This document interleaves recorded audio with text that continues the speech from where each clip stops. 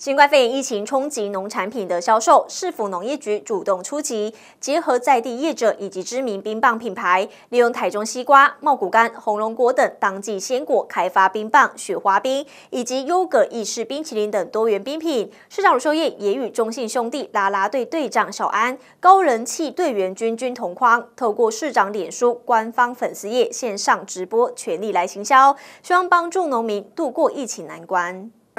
你可以再靠近一点，再靠近，就像有个化妆品广告。你看看我们的干妈。市长拿起当季水果如数家珍的介绍，全力来为台中农产品行销。新冠肺炎疫情冲击农产品行销，台中市主动出击。市长卢秀燕邀请中信兄弟啦啦队队长小安、高人气队员君君同框，透过市长脸书官方粉丝页线上直播，希望帮助农民度过疫情难关。吃冰果最好的时机。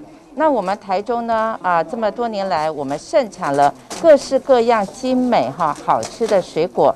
那这些水果呢，有的是新鲜吃，有的是可以榨吃，那有的做成冰淇淋或做成冰棒等等哈，各这样的一个产品。那所以今天呢，我们希望透过啊我们的一个行销，让大家更能够认识台中优质的农产品。唐市五月份当季的水果有西瓜、甜桃以及梨子。农业局结合在地业者以及知名冰棒品牌，利用台中西瓜、茂谷柑、红龙果等当季鲜果，开发冰棒、雪花冰以及优格意式冰淇淋等多元冰品。除了帮助农民，也鼓励民众多吃台中冰果。有一次我跟青青我们在那个后台在休息的时候，我们吃那个水果超好吃。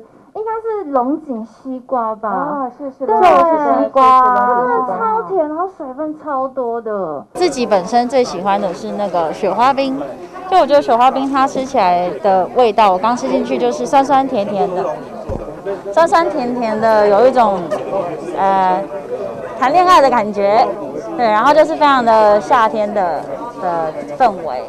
上表示，炎热的夏天就是想让人吃冰消暑，而台湾是水果王国，各种台中盛产的水果与冰品都是绝配。外民众来品尝台中在地清凉的水果冰，让夏天留下难忘的清凉滋味。